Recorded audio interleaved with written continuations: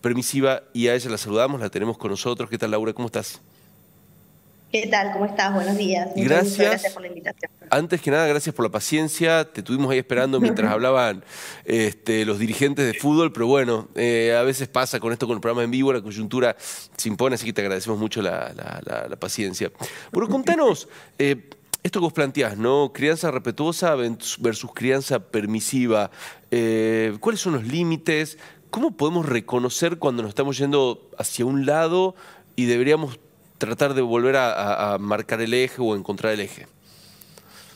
Bueno, a ver, un poco es lo que yo empiezo a plantear en mi libro, que es como una saga, o sea, es el primero de la, de la saga. Yo creo que mm, los padres estamos, las madres y los padres, estamos enfrentados a una tarea maratónica, que es esto de criar a un ser vivo, eh, y, y nos plantamos frente a esta situación con mucha autoridad y mucha sensación de, respuesta, cuando en realidad si nos analizamos a nosotros mismos y nos planteamos cuáles son las cuestiones que tenemos claras acerca de la vida y de lo que debemos hacer, no lo tenemos tan claro ni siquiera nosotros. Sí, sí, sí. Eh, los seres humanos tendemos un poco como a los extremos, como a... Em, nos cuesta un poco el punto medio. Entonces, a mí me gusta pensar en nuestra generación, esta generación de padres entre 35, 45, 50, como una generación intermedia un poco flu que obedeció a sus padres sin chistar y ahora un poco está obedeciendo a sus hijos sin chistar.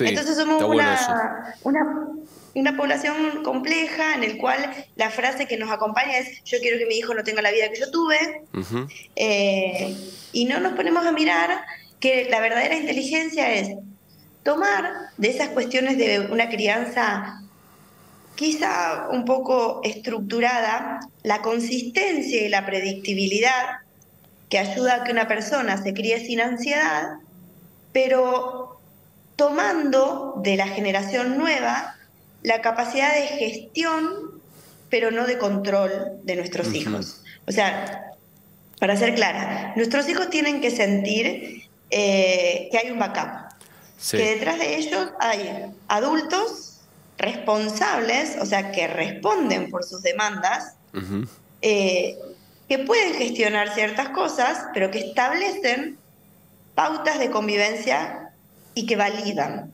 Sí. Lo que no quiere decir es que permiten todo. Bien. Bueno, vos estás planteando un, escenario súper complejo porque eh, ni más ni menos es eh, enseñarles a los chicos a gestionar una libertad que quizás nosotros, como vos marcás, por la rigidez de nuestras crianzas, no la teníamos tan al alcance de la mano, pero ser responsable con la libertad, hasta para nosotros los adultos, es muy difícil.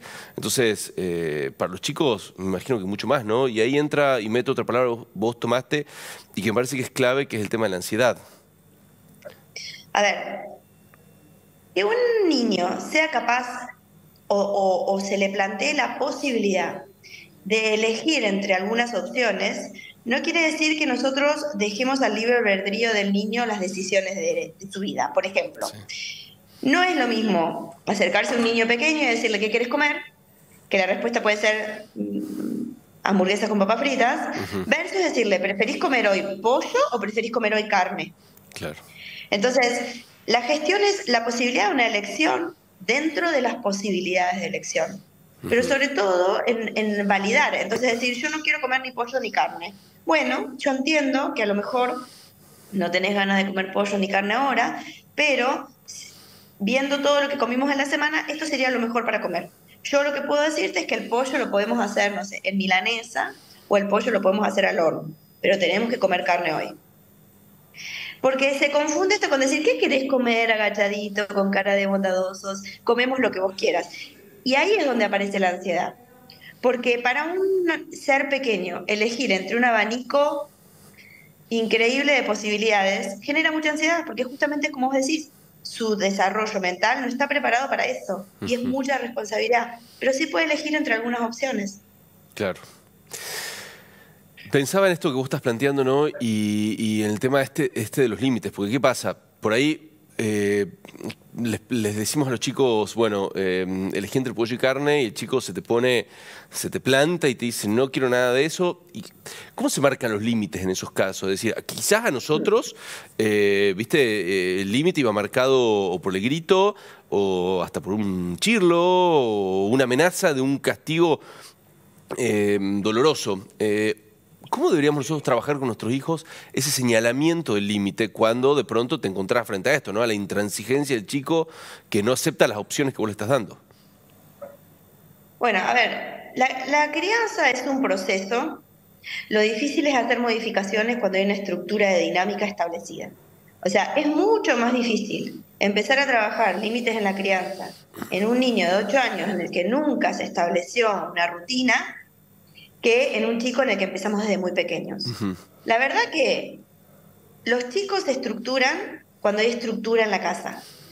Y validar no significa permitir. Entonces, si el, el nene se desregula, la opción no es gritar, porque es una escalada de grito que no termina más. Y para querer dejar de gritar, para poder dejar de gritar, primero hay que querer, que eso yo lo pongo en mi libro. O sea, es muy difícil dejar de gritar todo el tiempo. Y de hecho uno puede caer en el exabrupto de gritar. Yo creo que lo que uno le tiene que enseñar a los hijos es, yo puedo equivocarme y voy a pedir perdón, pero tomo las decisiones, aunque a veces me equivoque. Tomo las decisiones porque cuando hay consecuencias negativas las voy a cumplir. El problema de los padres de esta generación es que tenemos un muy mal manejo del tiempo y que no cumplimos lo que decimos. Yo siempre hago un chiste en el consultorio y les digo a las madres, si vos vas a gritar te voy a matar como amenaza, asegúrate de tener muchos chicos y poder matar uno. Porque si no, no tiene sentido. O sea, gritar cosas sin sentido que no se van a poder cumplir es lo que genera que no haya adherencia a las normas. Claro. El típico ejemplo es, este fin de semana enojado uno dice, no, vamos a hacer lo de la vuelta, ¿por qué? Y llega el viernes y nos da pena y él, él se portó bien el resto de la semana y bueno, vamos igual. Los nenes pequeños tienen muy poca flexibilidad para el intermedio. En general son más blanco y negro. Entonces, si yo dije algo, lo tengo que cumplir. ¿Sabes cuál es el problema? El problema no es que los padres no cumplimos los castigos que amenazamos. El problema es que los padres no cumplimos con lo que decimos. Claro. Después te llevo al parque. Y después se me hizo tarde, y después no pude, y después tuve que ir a trabajar. Después te llevo al parque es, primero, a las 4 de la tarde vamos a ir al parque y tener un reloj analógico de los de antes en la casa y que el nene sepa exactamente qué hora son las 4 y a las 4 cumplir con ir al parque. Claro. Cuando uno cumple en lo bueno, los hijos cumplen el límite. Cuando uno puede anticipar, los hijos cumplen el límite. Y cuando uno es consistente, los, los hijos cumplen el límite. Yo entiendo que vos estés enojado porque no querés comer nada de esto, pero esto es lo que hay para comer y es importante para vos y no es horrible, así que lo vamos a comer y esperamos. Cuando se te pase, nos sentamos y comemos juntos. Los padres te dicen, no come verduras. Y vos le preguntás, ¿vos comes verduras?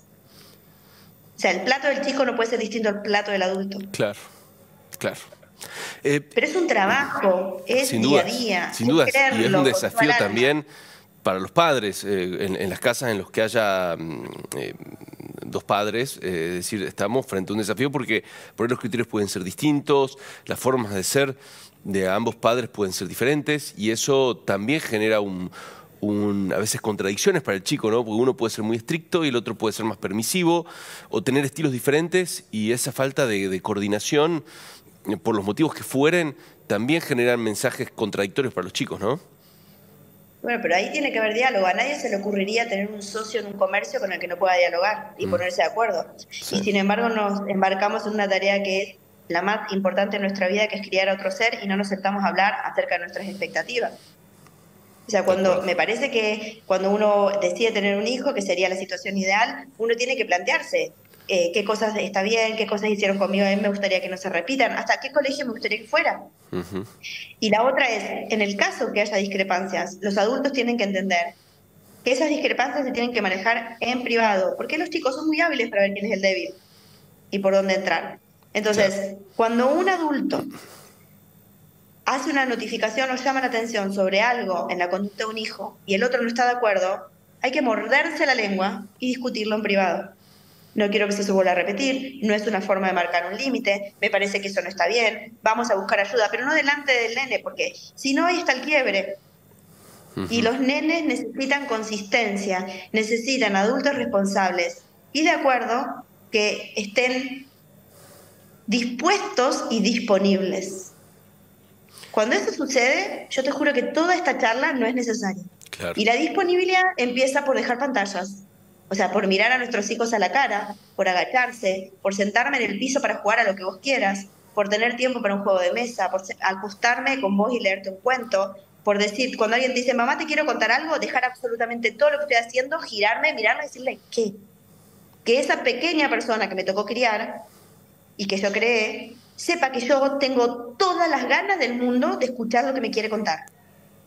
Qué bueno esto que estás planteando. Una persona que se siente valiosa y validada, responde. Claro. Piensen en sus trabajos. si tu jefe te dice, qué buen trabajo que hiciste hoy, qué buena entrevista que hiciste, eh, la verdad que estamos muy contentos. No necesita ni premiarte económicamente, no necesariamente el premio tiene que ser económico, es validar al otro.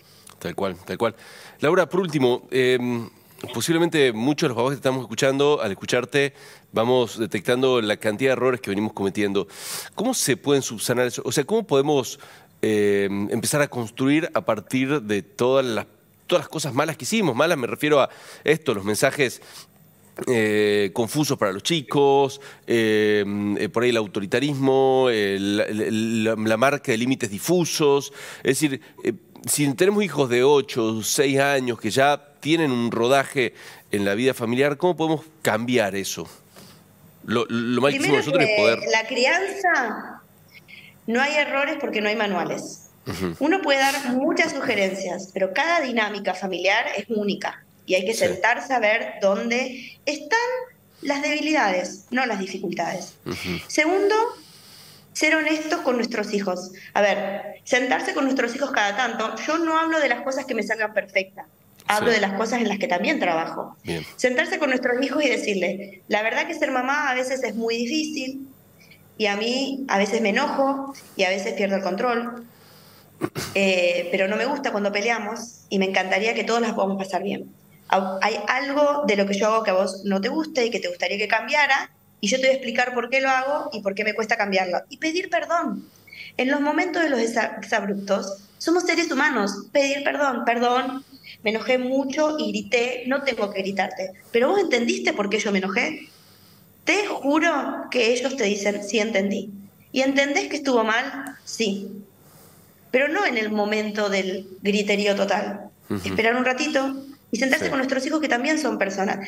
Enseñarles a nuestros hijos que se puede pedir perdón por los errores, que se puede aprender juntos y que uno los ama. Yo había un profesor mío en la facu que decía, ningún trauma psicológico eh, no se, se subsana, o sea, todos los traumas psicológicos se subsanan cuando se crió con amor.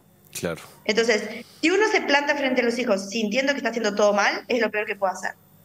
Si uno se planta frente a sus hijos sabiendo que es falible, la situación es completamente distinta. No se cría, no sé, eh, uno no le erra en criar. Somos seres complejos, interactuando desde la complejidad más tremenda que es el amor y esa incondicionalidad y esta cuestión que uno los ve como si fuesen perfectos. Claro, claro. Pero se construye y desde muy pequeños. Laura, muchísimas gracias. Eh, para que la gente sepa, quienes quieren ir a escucharte pueden hacerlo el sábado a las 7 de la tarde en Libro de Oro, calle Corrientes, entre 25 muñecas. Muy interesante lo que nos contaste, ¿eh? Gracias, gracias. Que estés muy bien. Bueno, Laura Corredera, eh, pediatra y infantil. ¿Cuánto para pensar, eh? ¿Cuánto para, para tratar de, de mejorar lo que hacemos con nuestros hijos? ¿Qué